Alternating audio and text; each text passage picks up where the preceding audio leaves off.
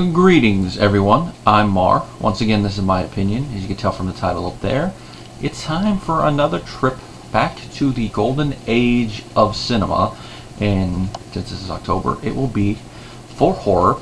This, of course, is a film from Universal's second wave of monster movies from 1943. This is Son of Dracula. Directed by Robert, and forgive me if I mispronounced his last name, Siodmak. Written by Eric Taylor, who also wrote the 43 version of Phantom of the Opera and Black Friday. And of course, starring our favorite monster star of this era, Lon Chaney Jr., as the titular son. And this, of course, son of Dracula. Now, the reason I say son like that, because his character is never really called the son of Dracula. It's is Count Dracula. So the son is just there for marketing because we'd already done Son of Frankenstein, and of course there was Son of Kong at a different time, and then later on we have films like Son of the Blob, Son of Godzilla. So it's just continuing another horror tradition of having Son of, and plus also differentiate this from the Lugosi film, so people don't expect it to be a straight remake, even though it is essentially a remake just in a more contemporary setting and Dracula's motive is a little bit different than the norm. I'll explain why in a bit.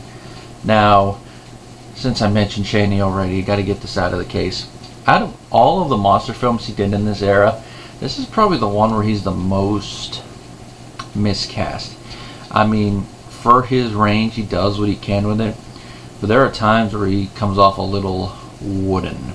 Like the line, announce Count Alucard which I'll get to that in a second. And then other things. Body language wise, he's fine. It's just when he actually speaks, he doesn't really have a lot of presence. I'll say this, he, even though his voice was dubbed over, he had more presence as the monster at the end of Ghost of Frankenstein than he does here. Because at least there you can tell he's having fun with it. Whether or not he knew his voice was going to be dubbed over or not. But there he seemed to have more fun. His type of delivery here definitely works more with Larry Talbot, especially after he finds out what happened to him in The Wolfman and then in the later films. And uh, the Mummy's not really a lot of dialogue, it's more physical performance. Here, though, he's really miscast. It seems like he was only cast because of the fact his star was rising at this point. They're like, yeah, we'll throw him in there, especially since he's a Chaney for some marquee value. And even at the time, people that were making this film felt he was miscast. And for the people that don't like the film, both contemporary when the film came out and in retrospect, that seems to be the main criticism, and it is distracting. Now, the plot of the film is set in then contemporary New Orleans. A Count Alucard has been invited to town. He's not there with his luggage when it gets there. And you know, as they're picking it up, one gentleman happens to notice something very interesting about it, and that is Alucard is Dracula spelled backwards. So if you're ever wondering where that little cliche came from, it started with this movie. And the way they show it makes sense with the luggage on the side and the guy looking at him be like, T R. You alright? Nothing, nothing. Silly idea. Now, he does eventually come out, Dracula, and he is attempting to court one of the daughters of a rich plantation. Now, it's a very subtle one that the characters don't see at first, but we, the audience, see it because we see the scenes behind the scenes. Now, since he was invited, it makes you wondering, okay, what's going on? Was he corresponding with this lady for a long time and then showed up? But this is where Dracula's plan differs from the traditional one. Traditionally, it's like he wants to find new blood and all that, which that's a little bit in the background of his plan. But the whole courting thing seems to be his more forefront one, and that's more his long-term plan once he gets set up. So he's acquiring land through a marriage instead of the old-fashioned way, he's some money. Instead, he's getting the land, and the other sister gets all the money when their dad dies. Which, the way it's shown, it makes it look like Dracula had a had a hand in the guy's death. Older guy, probably weak heart. Which that seems to be a cliche you don't really see a lot in horror films anymore, is the weak old heart thing, unless they actually bring it up as a good plot point. The best one I can think of is like in Carpenter's The Thing, how the one character already had the heart issues that were carried on to it, which we all know the big plot twist with that one. But Anyway, getting back here. The characters pretty quickly figure out, well, quickly considering how the film's length is, but over a course of a couple days they figure out Dracula. Alucard is Dracula. Dracula is Alucard. Dracula is a vampire! They figure out who he is. They figure out that he has married the one sister and has turned her into one of him, Nosferatu.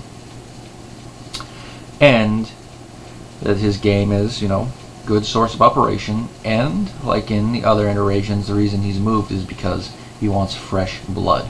And what better place to go for that than New Orleans? And I like the setting there because of the whole the whole otherworldly aspect of New Orleans and its folklore. And it makes me wonder, I got to do some research if uh, Anne Rice knew of this film when she was doing her interview with the vampire, or if she just was vaguely aware of it in its setting. But it's nice. And of course, this is not the first or only Universal monster movie to be set in a bayou area. Of course, we had that more with a certain Mummy movie I reviewed last year. Of course, that one they went a little bit more rural. Mummy's on loose and he's dancing with the devil. No such thing here. Which is one thing I'm like, I don't really believe these guys are Southerners. They don't really have the accent, but maybe they just moved down there when the colonel retired. Maybe they inherited it from distant relatives. Something weird like that. Now, Dracula does get killed in the traditional manner with these films, usually involving sunlight. Now, this is one of the few Universal monster movies that has a downbeat ending, along with that one Mummy movie where the girl does die, even though she does come back in the next one. And in this one, it's that since we've seen the sister Katherine has already been turned into one of the undead by Dracula, there's not really much they can do for her. If she's already one of the undead, the only true cure we've seen in any of these films is release and that's what happens. And the sad thing is, it's the one that she wanted to marry. Uh, Frank Stanley, played by Robert Paige, who ends up doing it. And given this is the 40s and in the era of the code, they can't really show it in any great detail. But I love the implication where he puts his ring on her finger. When the other characters show up, he's you can tell very morose outside of his room, on the verge of heartbreak, or his heart is breaking. They look inside, and her coffin's on fire. So the implication is he just set her free. Nice little bit of editing. Well, ends on a downbeat because she's dead. It's more downbeat, bittersweet, considering that not only did they destroy the monster, while it came at the cost of the girl, no more undead will rain havoc on that land. So it's one of those ones that it's a little bit of both, and for that I think it works with this film.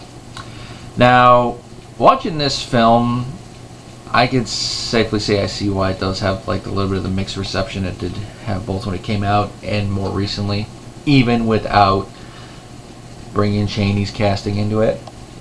And that's because in the beginning, it's not really as good as some of the others. I mean, you all know when I reviewed the Lugosi one a couple years ago, my thoughts on that one.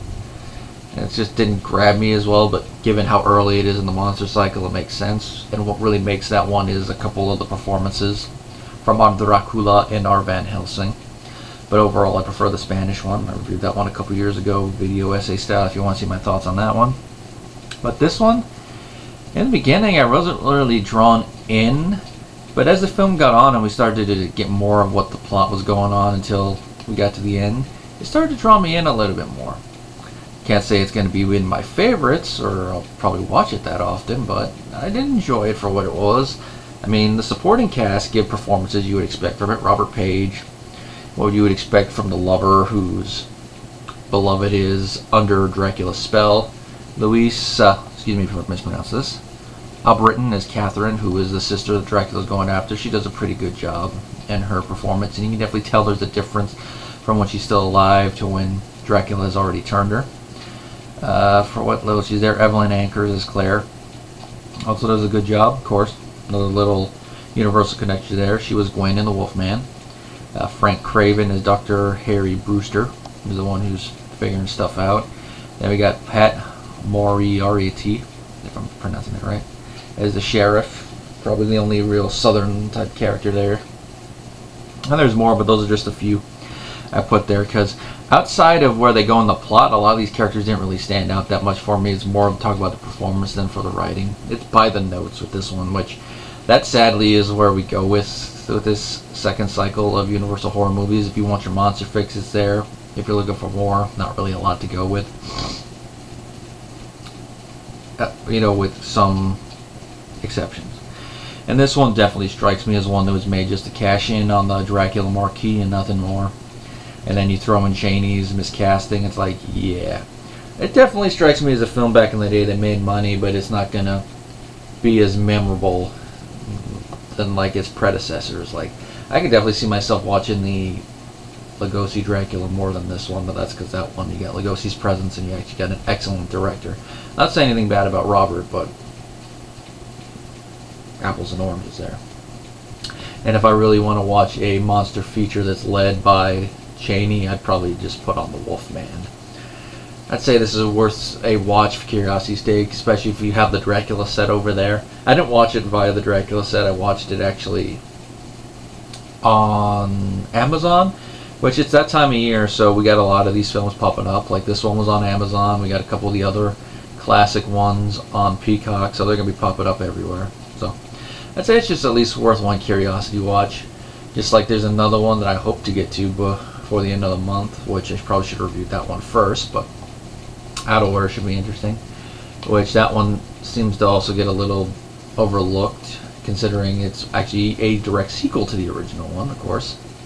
You all know what I'm talking about. That that one I actually look forward to watching, just because of what some of the stuff I've heard about him. Now, Here's a couple little bits of trivia I thought were interesting to mention. The coat of arms that's on Alucard's luggage is that of the Austro-Hungarian kingdom of Galicia and Lodomeria, which nowhere near where he hails from. So probably threw it down there just to throw out the scent.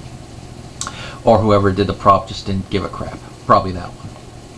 Now, this is one other major thing that this film has going for it. And this is the first of these Dracula films to feature a man into bat transformation on camera. There's no fangs in the vampire, but that's a little note. But unlike later ones, it's not really done in a cartoony one. You could tell it's done through animation. But the way they do it makes it seem like they were trying to be respectful of the tone of the film they were going for and not make it too cartoony. And in that regard, I think it works and it holds up pretty well. We also get to see him turning from mist and all that, turning back into mist. Uh, the effects with how they look are a little dated considering it's the 40s, but for the era and how they do it, I think they did it pretty well. So for the film has that going for it, so it's a little nice, and not just going with implication like in the classic one. But you know, one of those things. Sometimes theater of the mind is better, but it's nice to have seen the effort that went into that a little bit. But overall, like I said, a fun film, but not one I see myself revisiting all too often. Like I said, if I got my monster fix, I got better films that I'd rather watch from this catalog. But if you are marathoning your way through them, whether you're doing it by monster or in chronological, you definitely should watch it just to say, hey, I've seen it. And that's really all I have to say on this one. So next time you see me talking about Universal Monsters, it should be on the other follow-up to Lugosi's film. Till then, everybody.